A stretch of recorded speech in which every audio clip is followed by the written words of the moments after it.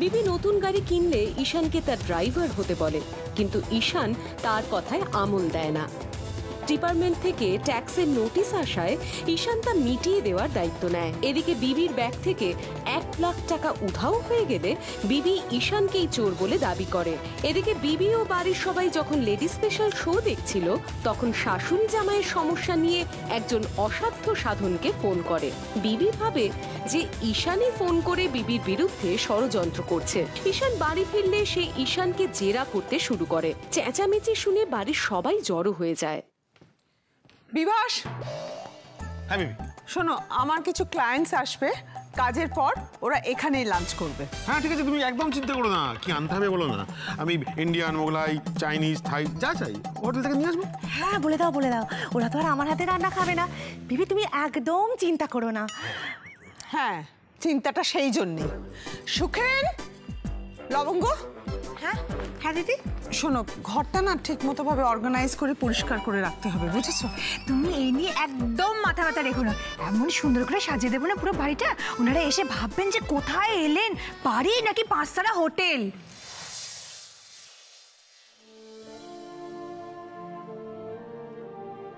আরে, এতে এত চিন্তার কি আছে, মা? তুমি তো এমনিতেই এই সময় বাবাকে নিয়ে গুরুদেবের আশ্রমে যাও। তো এবারেও যাও, বিন্দাস যাও, আর ফিরে এসে দেখবে তোমাদের জন্য একটা গুড নিউজ অপেক্ষা করছে। তুই আবার এখন কোথায় বেরোবি ঈশান? মা আমাকে যেতে হবে বাড়ির ট্যাক্সটা জমা করার জন্য। ইয়ে ঈশান আমি বলছিলাম যে ট্যাক্সটা ভাই আমি জমা করে দিলে হয় না? না মামা এটা তো আমাদেরই প্রাক্তন বাড়ি তাই ট্যাক্সটা আমি জমা করব।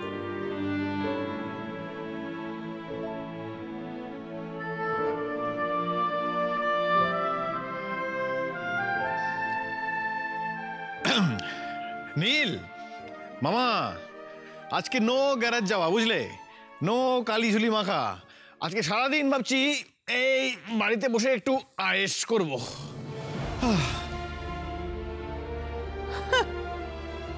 ভিখিরির আবার একদিনের জন্য রাজা সাজার শখ হয়েছে।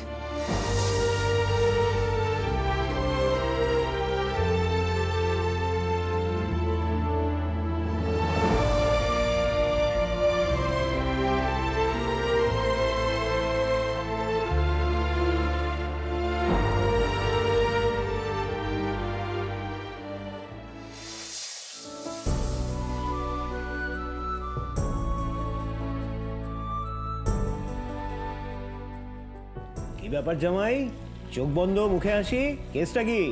আরে দেখছ না মা কতদিন পর রান্না করছে? আজকে খাওয়াটা বেশ জমবে।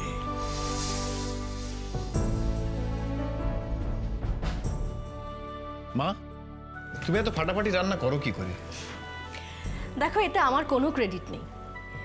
পুরো প্রশংসাটাই প্রাপ্য ফরচুন কাচ্চিঘানি মাস্টার্ড অয়েলে এই সর্ষের তেল কাচ্চিঘানি পদ্ধতিতে প্রতিটা দানা ধীরে ধীরে পিষে বের করা হয়। আর সেই কারণে ফরচুন কাচ্চিঘানি মাস্টার্ড অয়েলে তৈরি যে কোনো রান্না হয় অতুলনীয়, সুস্বাদু ও সুপাচ্য।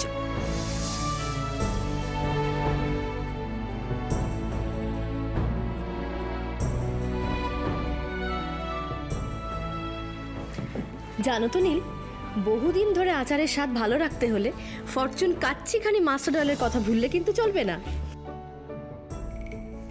খাঁটি ভোজন রসিকদের মেলবন্ধন, একেবারে স্বাদ আর শুদ্ধতার মতন। ফরচুন কাচ্চিখানি মাস্টার্ড অয়েল খাঁটি ভোজন রসিকদের খাঁটি সর্ষের তেল। কৃষ্ণ হরে কৃষ্ণ কৃষ্ণ কৃষ্ণ হরে হরে হরে রাম, হরে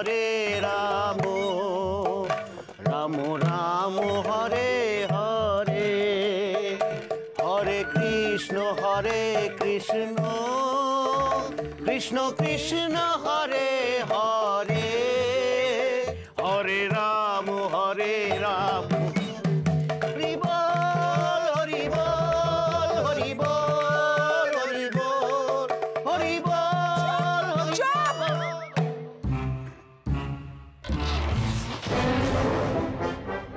কি হচ্ছে? এসব এই বাড়িতে? দিদি দিদি গো তুমি এসে গেছো? দেখো দেখো কি কাণ্ড হ্যাঁ? কি কীর্তন কি জ্বালাতন শুরু করেছে? আমি তো ঈশানকে জিজ্ঞেস করেছিলাম। ও বলল ওর নাকি কোন কাছের মানুষ মারা যাবে? তার আত্মার শান্তির কামনার জন্য এই সমস্ত করছে। ও গয়া যেতে পারবে না? তাই এখানেই পিণ্ডিদান হবে। আর তারপর নাকি এখানেই শ্রাদ্ধ হবে। তাই জন্য তো সব সাদা পোশাক। দিদি দিদি গো কাল রাতে সেই ছেলেটা টিভিতে বলছিল না? জীবিত মানুষের নামে পিণ্ড দিলে সে নাকি জলদি জলদি পটল তোলে? ঈশান আবার তোমার নামে পিণ্ড দেবে না তো? আমার তাই মনে হয় আমার তাই মনে হয় বিবি ওই পুলিশ কেস এড়িয়ে এখানেই তোমার করে দেবে। মরার পর তোমার বডি কাটা হবে কিন্তু কেউ জানতে পারবে না। আসল ক্রিমিনালটা একদম চুপ একদম মাঝে মাঝে কথা বলবে না। চুপ চুপ করো আমি বলছি বিবি বিবি আমার মনে হচ্ছে কি বলতো তোমার সামনে যাতে তুমি কিছু ভণ্ডুল করে দিতে না পারো ওই ওই ছবিটাকে ঢাকা দিয়ে দেখো বিনোদন হচ্ছে। দেখো। হ্যাঁ দিদি আমিও না একেবারে হলপ করে বলতে পারি। এই যে এই কাপড়ের নিচে না তোমার ছবি রেখে দিয়েছে ঈশান তুমি দেখো না। আমি এক কেজি বাতাসা বাজি রেখে বলছি এখানে এখানে তোমারই পিণ্ডদান হবে। এসব কি হচ্ছে কি বিবি এসব? সব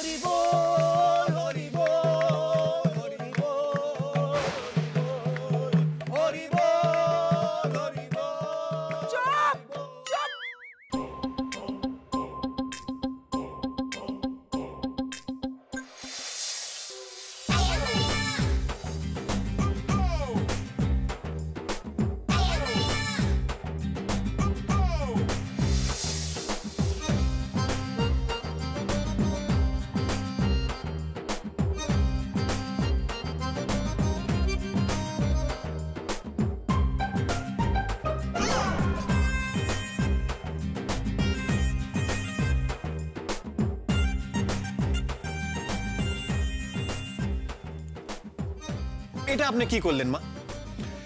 ঈশান রায়ের পিণ্ড দান করে আত্মার শান্তি কামনা করছিলাম আর এমন সময় আপনি গ্যালোপিং অশান্তিপুর লোকাল নিয়ে এরকম ভাবে ঢুকে পড়লেন? একঘেয়ে খাবার খেতে আর একঘেয়ে নাটক দেখতে কারও ভালো লাগে না ঈশান। প্লিজ চেঞ্জ দেখুন ঈশান রায় তো আর ফিরবে না। ফিরবে ঈশান চ্যাটার্জি। তাই ঈশান রায়কে চিরতরের মতো তুরীয় মার্গ পার করিয়ে দিচ্ছি। ব্রিজ ভাঙা তদন্ত অনেক দূর এগিয়েছে। খুব শিগগিরই প্রমাণ হয়ে যাবে যে ব্রিজ ভাঙার পেছনে কিছু অসাধু লোক আছে। চ্যাটার্জি অ্যান্ড চ্যাটার্জি গ্রুপ নয়। দোষীরা শাস্তি পাবে আর আমরা পাবো ক্ষতিপূরণ। তাই বলছি এবারে কাজিয়া বন্ধ করে কাজের কথায় আসুন আর হাতাহাতি বন্ধ করে হাত মেলান। সন্ধি করে ফেলুন। দিদি আমরা তো জানতাম আপনার কাছে টাইম ইজ মানি এইভাবে আমাদের সময় নষ্ট করছেন কেন? সরি আমি এক্সট্রিমলি সরি আপনাদের সময় নষ্ট হলো।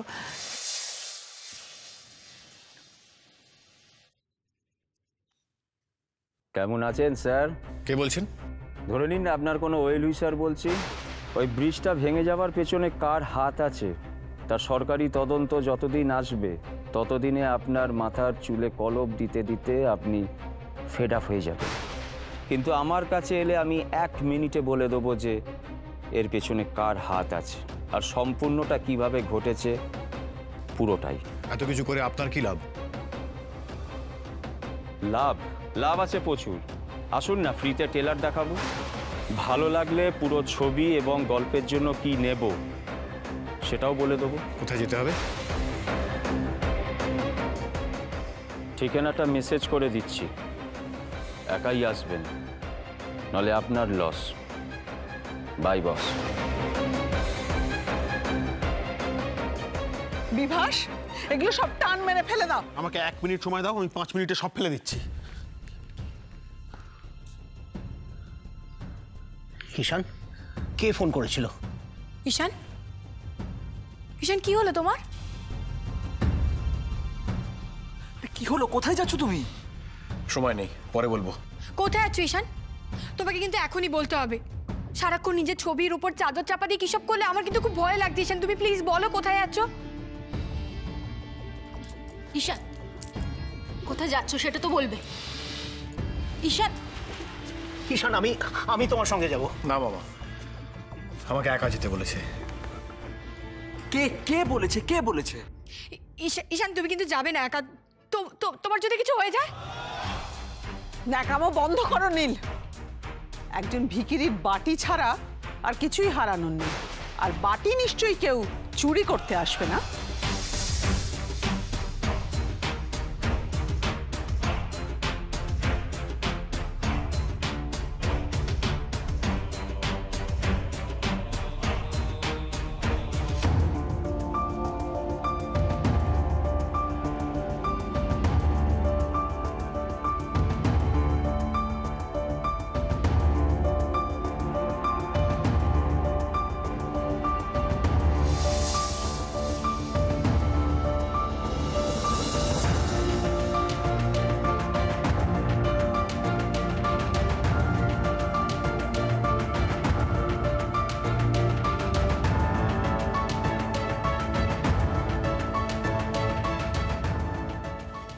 ঠিকানা তো এটাই দেওয়া ছিল। কিন্তু এরম একটা জায়গা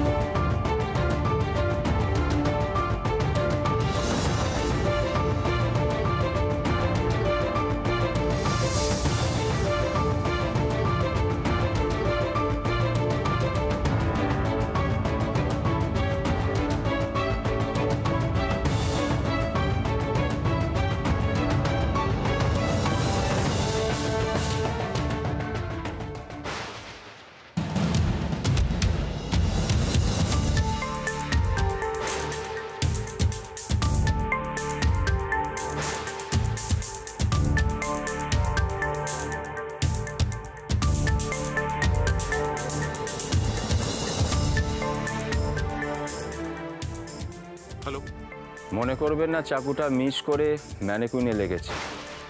কথা দিয়েছি, ফ্রিতে টেলার দেখাবো, সেটাই দেখালাম। ব্রিজ ভাঙা নিয়ে বেশি বাড়াবাড়ি করলে ছুরিটা কিন্তু ঠিক জায়গায় লাগবে। আহ, বলারও সুযোগ পাবেন না। হ্যালো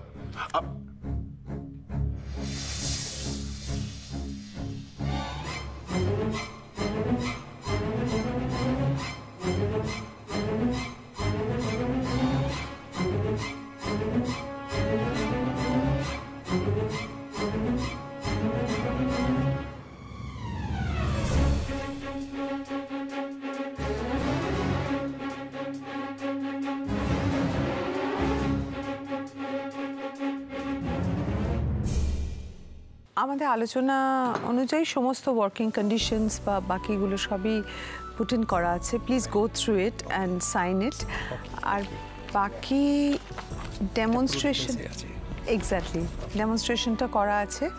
সেটাও দেখে আপনি আমাকে একটা মেল পাঠিয়ে দেবেন।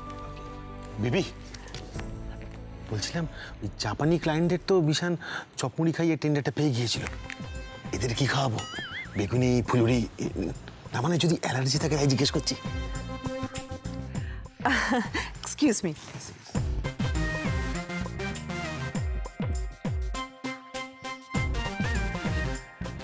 তোমার লাগেজ গোছানো আছে?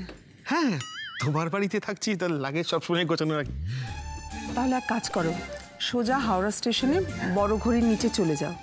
আমার লোক তোমার হাতে টিকিট ধরিয়ে দেবে।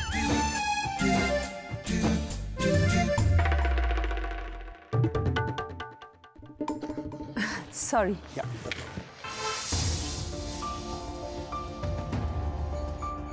সরি অজয় বাবু একটু লেট হয়ে গেল। ইটস ওকে আমি আপনার কাছে আসব বলেই বেরিয়েছিলাম কিন্তু এমন সময় আমার কাছে একটা ফোন আসে। কার ফোন আমি ঠিক জানি না একটা অচেনা গলা আমাকে বলে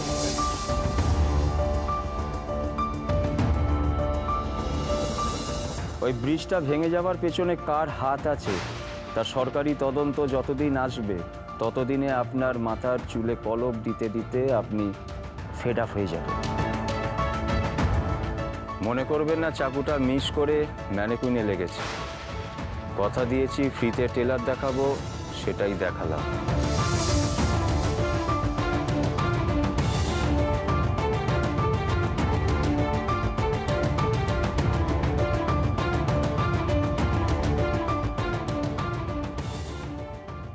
হলো সেই ছুরি। পথে বাধা দেবার চেষ্টা। তার মানে বুঝেছ ঈশান? আমরা ঠিকঠাক পথেই কিন্তু এগোচ্ছি। এই কেলেঙ্কারিতে যারা জড়িত তারা ভয় পাচ্ছে আমাদের জাল বিছানোটা দেখে। কিন্তু বাচ্চাধনেরা জানে না ওই জালে ওদেরকে পা দিতেই হবে। ওদিকে আর কিছু এগোলো? হ্যাঁ তোমার কোম্পানির কয়েকজনকে আমরা অ্যারেস্ট করেছি। ওদের কথাবার্তা ঠিক ঠিকঠাক মিলছে না। আমার মনে হচ্ছে ওরা সত্যি কথাটা বলছে না। এই যে তাদের নামের লিস্ট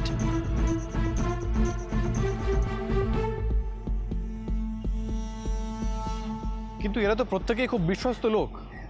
আমি এদের ব্যক্তিগতভাবে চিনি। হিসেব মিলছে না। সব হিসাব সবসময় মেলে না ঈশান। বিশ্বস্ত লোক যখন পেছু থেকে ছুরি মারে তখন বিশ্বাস করা আর মেনে নেওয়া দুটোই কিন্তু খুব কঠিন হয়ে পড়ে। চিন্তা করো না ঈশান। তুমি একটু সাবধানে থেকো। তোমার ওপর হয়তো আবার অ্যাটাক হতে পারে। আমি দেখছি আমি কি করতে পারি।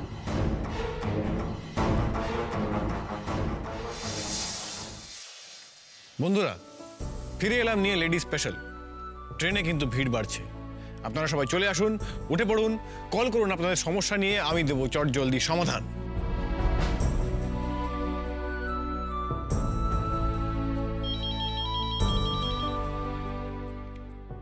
হ্যালো? হ্যাঁ হ্যালো অসাধ্য সাধন? আমি বালিগঞ্জের বিদিশা বলছি। বলুন বিদিশা আপনার সমস্যা কি? বলছি।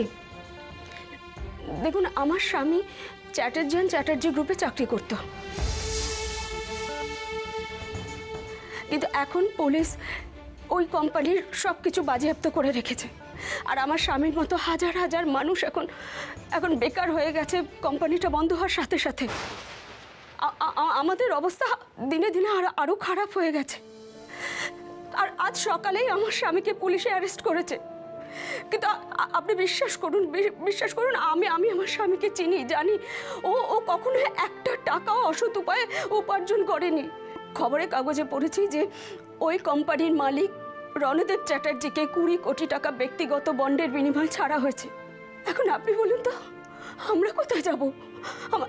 আমরা আমরা আমরা কি করব? আমরা এতগুলো মানুষ এখন কোথায় যাব? কার কাছে সুবিচার চাইতে যাব?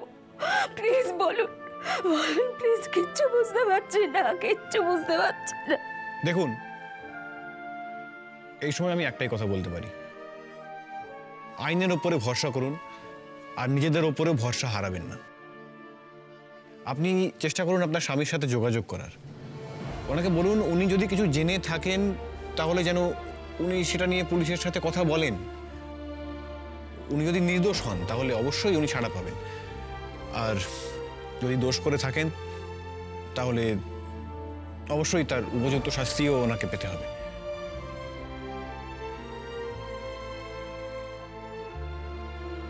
ফিরে আসছি একটা ব্রেকের পরে। টিভি রিমোটে কিন্তু হাত দেবেন।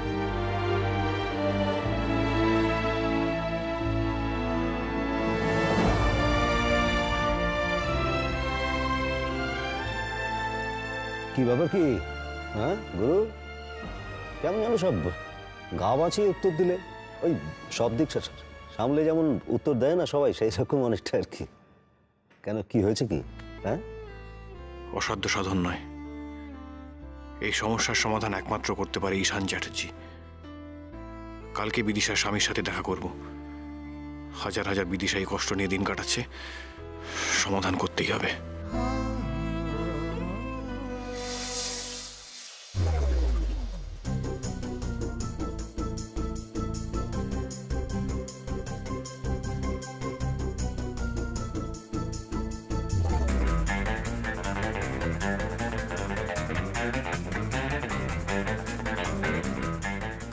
ব্যস্ততায় অনেকদিন আপনাকে ভালো করে বিরক্ত করা হয়নি। কাল ছুটি। আপনার পেছনে মন দিয়ে লাগতে হবে। এখনই বীজ পুঁতবো। এক রাতের মধ্যে বড় গাছ হয়ে কাল সকালে ফল দেবে।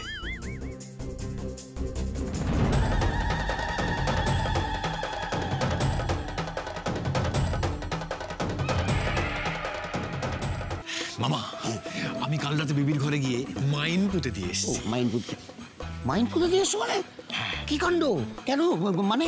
মানে বিবি যেই খাট থেকে বিবির পা মাটিতে পড়বে পড়ে সাড়ে তিন পা হেঁটে আয়নার সামনে যাবে সেই ব্লাস্ট ব্লাস্ট মানে পুরো বাড়ি উড়ে যাবে? বাড়ি নিরাপদ।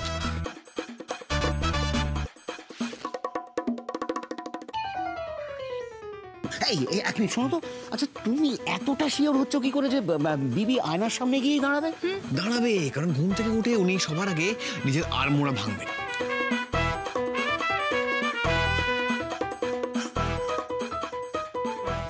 যেহেতু ঘুম থেকে উঠে অন্য কারোর মুখ দেখলে আমার শাশুড়ি মায়ের দিনটা খারাপ যায় উনি সবার আগে আয়নার সামনে গিয়ে নিজের মুখটাই দেখবেন। কারেক্ট আছে। হ্যাঁ এটাই তো দিদি ভাইয়ের সংস্কার। হ্যাঁ তাই জন্যে উনি আয়নার সামনেই যাবেন আর কোথাও না।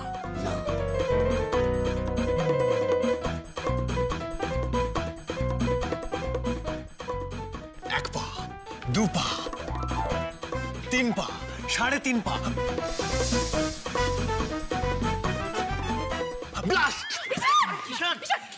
আমি না। মা।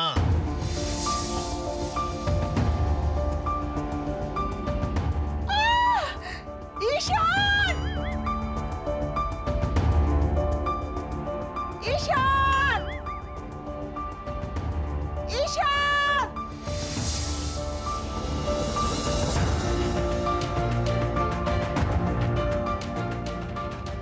ঈশান! এবার কি হবে? জানি না দেখা যাক। বিবি বিবি গো তুমি কোথায়? ও দিদি দিদি গো তুমি কোথা থেকে চিৎকার করছ? ও বিবি কোথায় গো? তুমি কোথা থেকে চিৎকার করছ গো?